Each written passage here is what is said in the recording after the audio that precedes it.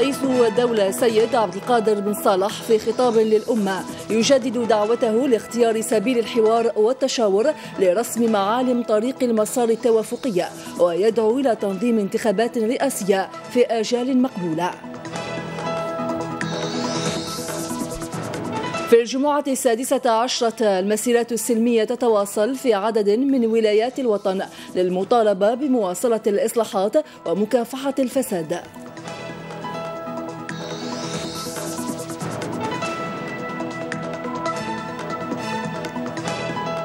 عشية نهائي كأس الجزائر. الأنظار تتجه صوب ملعب مصطفى شكر في لقاء حاسم بين شباب بلوزداد وشبيبة بجاية. تحية طيبة مشاهدينا الكرام أهلا بكم إلى تفاصيل الخامسة بداية جدد رئيس الدولة السيد عبد القادر بن صالح في خطاب للأمة أمس دعوة كافة الأطياف السياسية والمجتمع المدني والشخصيات الوطنية إلى اختيار سبيل الحوار والتشاور لرسم معالم طريق المسار التوافقي الذي ستعكف الدولة على تنظيمه في أقرب الأجال داعيا إلى تغليب الحكمة ومصلحة الشعب دون تضييع الوقت من خلال توافق يفضي إلى تنظيم انتخابات رئاسية في في جو تنافسي ونزيه أدعو الطبقة السياسية والمجتمع المدني والشخصيات الوطنية الغيورين على وطننا ومصيره. أقول أدعوكم جميعا إلى اختيار سبيل الحوار الشامل وصولا إلى المشاركة في رسم معالم طريق المسار التوافقي الذي ستعكف الدولة على تنظيمه في أقرب الآجال.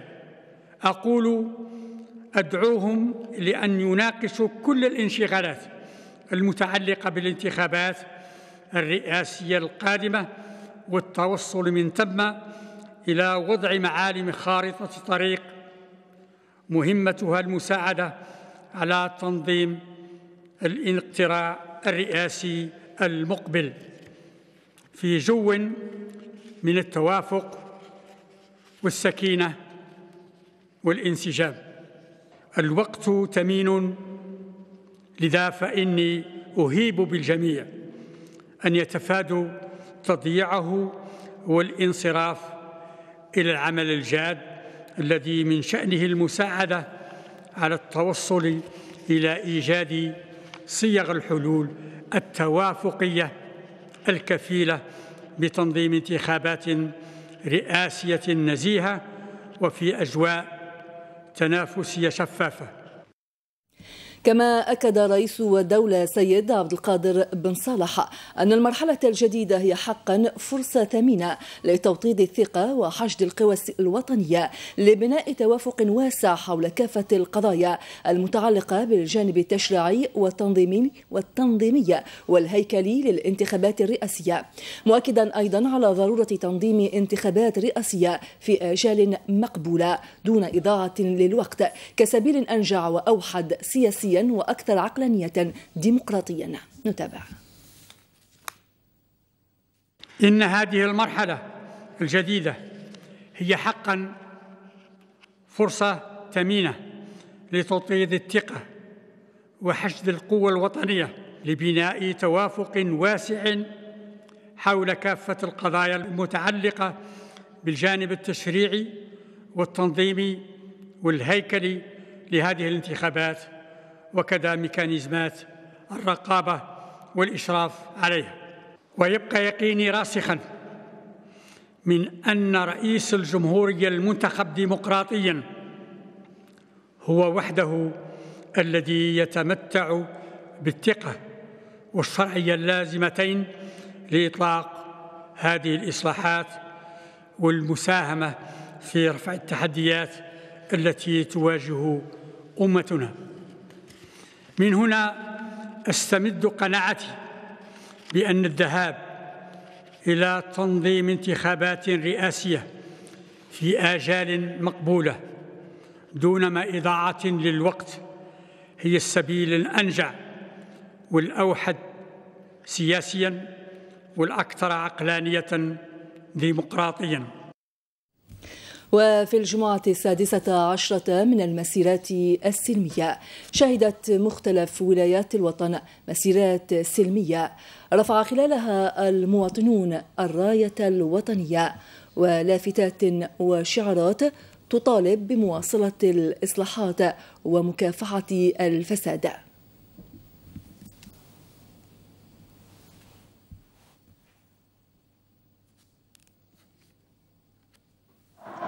إلى جانب إذن التطلع إلى إرساء دولة المؤسسات والعدل والقانون.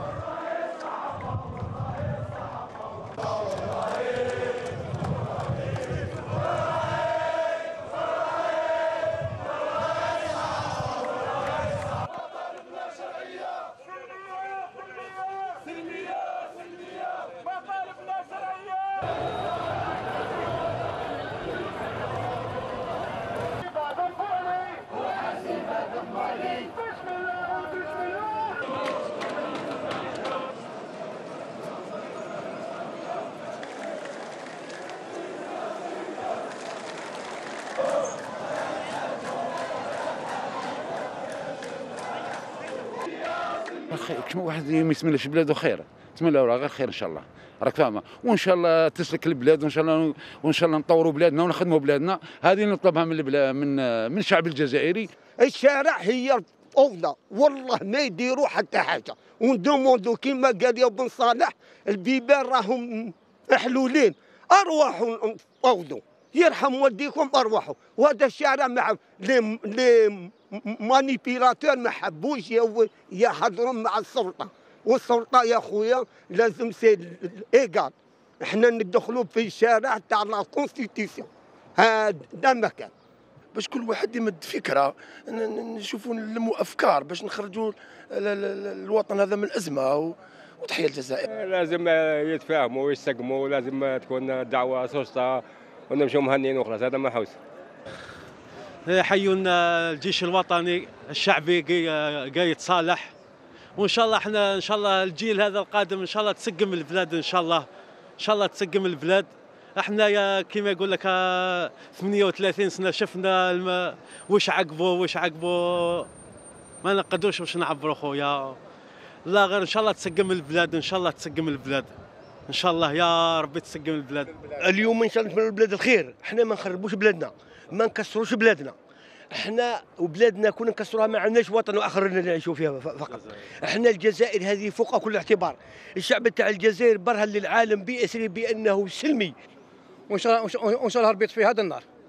هذا واش نقول ان شاء الله بيطفي هذا النار ان شاء الله يطفي هذا النار. إحنا نطالب باللي بهذه الجزائر هذه يحافظوا عليها. ويخلوها بلاد قائمة وما يأكلوش الأموال تاعها ويشوفوا للشعب هذا. إحنا ما نطالبوش ما نطالبوش بشيء آخر. إحنا نطالبوا هذه البلاد راهي عليها ضغط كبير من الداخلي وخارجي. نستثمروا في الشباب. بلادنا كاين كاين كاين قاعدة شبانية صحيحة في, في, في البلد تاعنا. علاش مخلينهم توجور اليأس الحرقة؟ إلى متى؟ الفساد لازم يمشي. يمشي. هذه الطبقة المفسدة لازم تمشي. وتحيه تحية للجيش تحية للجيش تحية للجيش تحية للجيش. تحية للجزائر وتحية مليون مليون ونص شهيد. وتحية المؤسسة. الجيش الشعب الوطني. وتحية الجاي صالح من الحدود للحدود. والجاي صالح رانا معاه قلب ورب يعيط لنا يا راب لينا رانا معاك الجاي صالح والجيش والشعب رانا خاوة. راب لي سلاح رانا هنا. كونك متهني خلاص وما تخاف من حتى واحد لا فرنسا لا يديك لا يجيبك. كاين بزاف شخصيات معروفة هنا في الجزائر على مستوى الوطن 48 ولاية. راك فاهمني خويا؟ من بعد هذو هما يروحوا للحوار إن شاء الله ونخرجوا كما نقولوا إحنا بطريقة سلمية. والحراك عنده الحق يختار الشخصية عن طريق الانتخابات وبربي إن شاء الله نخرجوا إلى طريق كما نقول إحنا الصحيح اللي سطروه في سنة 1954 جيش شعب خوا خوا جيش شعب هذا وتتابعون مجريات المسيرات السلمية عبر مختلف ولايات الوطن في نشراتنا الإخبارية القادمة. في كرة القدم تعيش الجزائر على وقع نهائي كأس الجزائر بين شباب بلوزداد الذي ينافس من أجل الظفر بالكأس الثامنة وشبيبة بجاية التي تلعب للتتويج بالكأس الثانية في تاريخها. المباراة تجرى غدا السبت بملعب مصطفى شكر بالبليدة في الساعة الخامسة وتنقل على القنوات الأربع للتلفزيون الجزائري. هشام سعدودي. بين من يبحث عن الثامنة وآخر عن الثانية. في نهائي السيد الكأس لهذا الموسم وبظروفه الخاصة والاستثنائية. مباراة إسدال الستار والختام لا ينتظرها عشاق طرفي النهائي فقط بل كل محبي ومتابعي كرة القدم المحلية لما للسيدة الكأس من تميز وحلاوة وأجواء خاصة. شباب الوزداد وبعد موسم استثنائي ومجنون. نجا فيه من السقوط وتعافى من مشاكله الإدارية والمالية أدى مشوارا جيدا في أدوار كأس الجزائر. هذه المنافسة التي يحبها وتحبه فبعد أن أقصى دفاع تجنان وشباب باتنا وسريع المحمدية ونصر حسين داي تأهل إلى النهائي العاشر في تاريخه على حساب شباب قسنطينة في الدور قبل النهائي. شبيبة بجاية هي الأخرى وبعد أن فشلت في رهان اللعب على الصعود إلى الرابطة الأولى تألقت تشكيلتها الشابة في المنافسة بعد أن حققت المفاجأة بإزاحة الوفاق الصيفي في نصف النهائي وبردوا من ربع النهائي وقبلهما كل من شباب بقيرات وعين وشبيبة سكيكتا. ملعب الشهيد مصطفى شاكر بالبريدة سيكون مسرحا للمواجهة التي ستختار عريسها إما أبناء بالوزداد أم أسود الصمام فلمن سيكون شرف التتويج؟ هذا واستقبل والي ولاية العاصمة عبد الخالق سيودة منشطي نهائي كأس الجزائر شبيبة بجاية وشباب بالوزداد حيث حثهم على التحلي بالروح الرياضية خلال هذا العرس الكروي.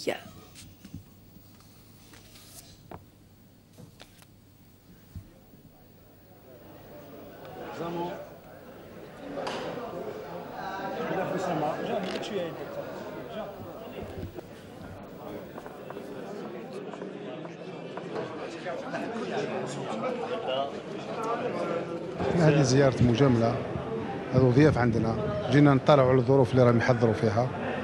وتدخل في إطار تدعيم الروح الرياضية بالدرجة الأولى إن شاء الله. وما هي إلا مقابلة كرة قدم. تجرى كباقي مباريات كرة القدم.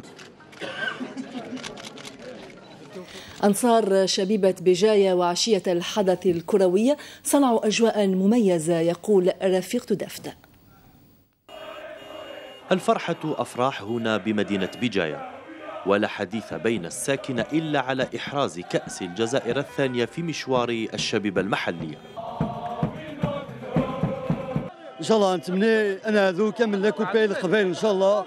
آه جماعوني نتمنى لا كوبي إن شاء الله قال. إحنا نروح نجيبوها بربي ان شاء الله. بإذن الله. بإذن الله نروح نجيبوها عشاق الفريق والأنصار يحضرون للوقوف إلى جانب التشكيلة ومناصرتها والتنقل بقوة إلى ملعب مصطفى تشاكر بالبوليدة إن شاء الله يا ربي نزاري جرون بارتي كل ميرغان والسيبورتر نادي ولي بخير وعلى خير. داني نطلب رباز واتيلي لا بارتي أما سواء سيربي سواء لا جي اس ام كنا خلا غضي إن شاء الله عندنا لا دوزيام كوبي بكايث كي سوق الاثنين في ضل لا جي اس ام بي يكل الساحل في جي اس ام بي يكل يكل الساحل. ورغم أن الفريق الند لا يستهان به إلا أن أبناء ماغورايا عازمون على مواصلة المشوار والعودة بالفوز كما فعلوها سابقا. منينا سطيف عين منينا بارادو لا سويت سي ار بي زوجة ان شاء الله ولا جي اس ام بي آه يا حلو هاد لعبنا كوبلينا الزوجة لينا. بربي إن شاء الله. إن شاء الله نربحوا دواسيون ونولو هذا ما كان. هذا هو سكور إن شاء الله. العرس ببجاية متواصل كما هو الحال بالعقيبة والبليدة ولا فيصل سوى المباراة والنتيجة النهائية. بتوفيق لكلا الفريقين. إلى روبورتاجات نشر الآن وبولاية غردايا مشاريع تنموية عدة. استفاد منها سكان المناطق النائية ببلدية سبسب.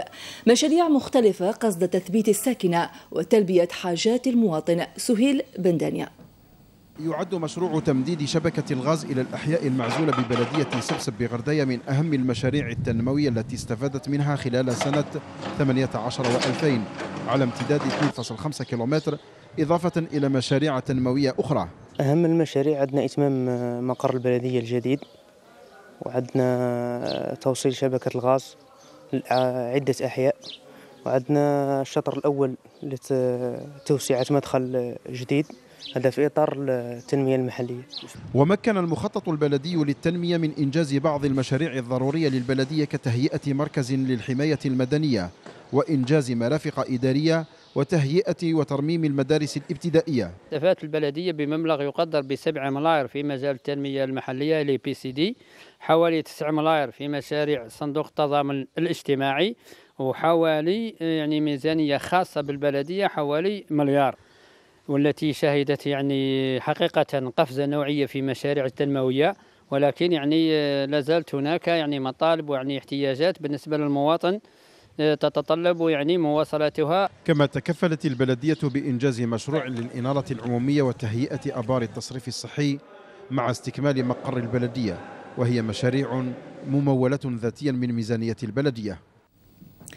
في مجال الاستثمار المنتج وحدة صناعة أنابيب السقي الفلاحية بمختلف أنواعها وأحجامها بولاية الوادي. مؤسسة مصغرة وبإمكانيات بسيطة تعتبر نموذجا ناجحا.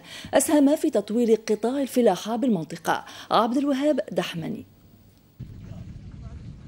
منذ أن أصبحت ولاية الوادي تحتل المراتب الأولى وطنيا في إنتاج مختلف المحاصيل الفلاحية ومع اتساع شساعة الأراضي المستصلحة زادت حاجة الفلاحين إلى معدات تطوير هذا القطاع. وهو ما تعمل عليه هذه المؤسسة المصغرة لصناعة أنابيب السقي بكل أنواعها. كان نقص كبير في ولاية الواد من هذه المادة. رأينا أن نصنعوها في هذه الولاية؟ باش نعاونوا بها الفلاح نقصوا عليه التكاليف وندعموا بها هذه الولاية. تنتج هذه الوحدة يوميا ما يقارب الثلاثة ألاف متر من أنابيب السقي بكل أحجامها من أنابيب السقي بالتقطير إلى أنابيب الآبار. وتعرف إقبالا كبيرا من قبل فلاحي المنطقة لاقتناء هذا المنتوج المحلي. جايين لهنا لوزين هذا وين؟ بإذن الله جايين باش نشروا تسيوات نصحونا بها. خرينا قبل مجربينها نوعيه هايلة ما شاء الله. والحمد لله. أن كانت فاقت التوقعات تاعنا من القدرة الإنتاجية ومن التسويق. لأن ولايه الواد ولاية فلاحيه بامتياز. كاين بعض المشاكل اللي صادفتنا في الطريق منها مشكل مثل الكهرباء ومشكل الأرض الاستثمارية تاع العقار الصناعي. ويطمح صاحب هذه الوحدة المصغرة في صناعة أنابيب السقي الفلاحية إلى توسيع استثماره من خلال الحصول على عقار صناعي وهو ما ينتظره منذ سنوات. في إطار مكافحة التهريب والجريمة المنظمة أوقفت أمس مفارز للجيش الوطني الشعبي بالتنسيق مع عناصر الدرك الوطنية إثر عمليات متفرقة بكل من تلمسان ووهران سبعة تجار مخدرات وضبطت 68 كيلوغراما من الكيف المعالج و400 قرص مهلوس وثلاث سيارات سياحية. في حين تم إحباط محاولات تهريب قرابة 7000 لتر من الوقود بكل من بسا الطرف وسقراس من جهة أخرى أوقف عناصر الدرك الوطني بنعمة تسعة مهاجرين بطريقة غير شرعية من جنسيات مختلفة. أدانت الجزائر بقوة الاعتداء الإرهابي الذي استهدف الأربعاء الماضية عناصر للشرطة جنوب مدينة العريش المصرية مجددة دعمها لهذا البلد ووقوفها إلى جانبه في هذه المحنة. تأكدت وأكدت وزارة الشؤون الخارجية أن الجزائر تنحني إجلالا أمام أرواح ضحايا هذا العمل الشنيع الذي ينهك قداسة أو ينتهك قداسة النفس البشرية وحرمة العيد مشددا على ضرورة التصدي لهذه الآفة قصد تجاوز التحديات الكبيرة التي تواجه دولة مصر الشقيقة في مختلف المجالات. كما أدانت الجزائر الاعتداء الإرهابي الذي استهدف الاثنين الفارط عناصر من الجيش والأمن اللبناني بمدينة طرابلس شمال لبنان. وأكد الناطق الرسمي لوزارة الشؤون الخارجية تضامن الجزائر ووقوفها إلى جانب جمهورية لبنان الشقيقة في التصدي لكل المحاولات التي تسعى لزعزعة أمنه واستقراره وضرب وحدة شعبه مجددا في السياق ذاته موقف الجزائر الرافض للإرهاب بكل أشكاله ومظاهره مهما كانت مبرراته ومسوغاته. في شأن الفلسطيني أصيب شاب فلسطيني بالرصاص الحي والعشرات بالاختناق عقب قمع قوات الاحتلال الإسرائيلي اليوم في المسيرة السلمية الأسبوعية المناهضة للاستيطان لأهالي قرية كفر قدوم شرق محافظة قلقيلية. وفي قرية بلعين غرب رام الله أصيب عدد من الفلسطينيين بالاختناق واحترقت مساحات واسعة من الأراضي المزروعة بأشجار الزيتون خلال قمع قوات الاحتلال لمسيرة الأهالي المناوئة للاستيطان والجدار العنصرية. أجرى اليوم رئيس الوزراء الإثيوبي أبي أحمد بالخرطوم مباحثات مع رئيس المجلس العسكري الانتقالي وتحالف قوى إعلان الحرية والتغيير. وتأتي هذه المساعي بعد مقتل 61 شخصا خلال فض اعتصام بالخرطوم ما أدى إلى تعثر المحادثات وإلغاء المجلس العسكري لكل الاتفاقات التي توصل إليها مع المعارضة. وفي السياق علق مجلس الأمن والسلم الإفريقي أمس عضوية السودان في جميع أنشطة الاتحاد حتى تشكيل مجلس انتقالي يقوده مدنيون. في بلجيكا أعلن الاتحاد الأوروبي اليوم عن إجراء تعديلات جديدة على قانون قانون التأشيرات الخاصة بدول منطقة شنغن وذلك بهدف تحسين التعامل مع المسافرين الشرعيين والقدرة على التصدي لتحديات الهجرة غير الشرعية. وإن هذه التعديلات اقترحت لأول مرة عام 2018 مضيفا قد تدخل حيز التنفيذ بداية من يناير 2020 لو تمت المصادقة عليها بشكل نهائي الشهر المقبل.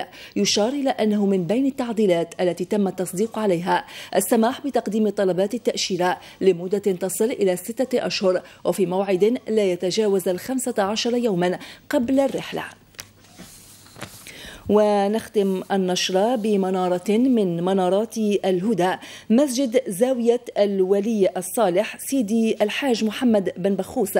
أول مسجد ينحت تحت الأرض بولاية البيض في رمزية إلى وجود إلى وجوب عبادة الله وتدبر في آيات الرجوع إلى باطن الأرض في خطوة إلى الحياة الأبدية. محمد بخداء أماكن العبادة عند المتصوفة تشكل النواة التي يدور حولها الوجود ومنها جاء هذا المسجد بالبيض الذي نحت تحت الأرض ليذكر المؤمنين بصورة عملية بقول المولى عز وجل بسم الله الرحمن الرحيم. منها خلقناكم وفيها نعيدكم ومنها نخرجكم تارة أخرى. كأن الشيخ يقول للزائر مهما طالت حياتك يا عبد الله فلا بد من يوم يعني من الأيام أن تعود إلى باطن الأرض. المسجد يتواجد لحد الساعة بزاوية الولي الصالح العارف بالله سيدي الحاج محمد بن بحوص الذي ينحدر من سلالة خليفة المسلمين الأول. الولي الصالح سيدي الحاج محمد ليكن في علم الجميع يعني شيخه السي الطيب بن حرمة ابن الشيخ بوعمامة فهو لما يعني كان على درب الشيخ بوعمامة وكان على نهج أبيه وجده الولي الصالح سيدي, سيدي عبد القادر بن محمد المعروف بسيد الشيخ صاحب المنظومة المشهورة بالياقوتة. جاء إلى هذه المنطقة أول ما أسس الزاوية.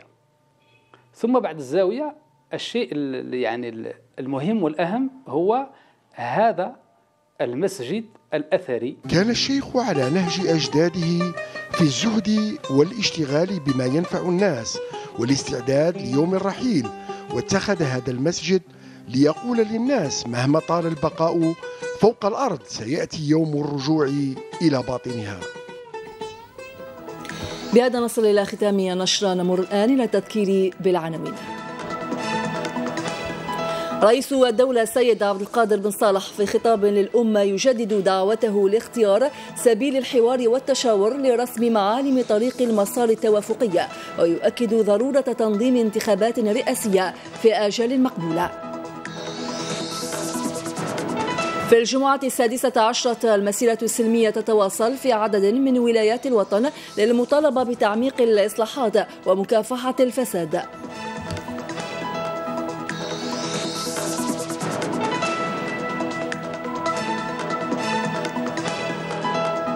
كما تابعنا وعشية نهائي كأس الجزائر. الأنظار تتجه صوب ملعب مصطفى تشكر في لقاء حاسم بين شباب الوزداد وشبيبة بجاية.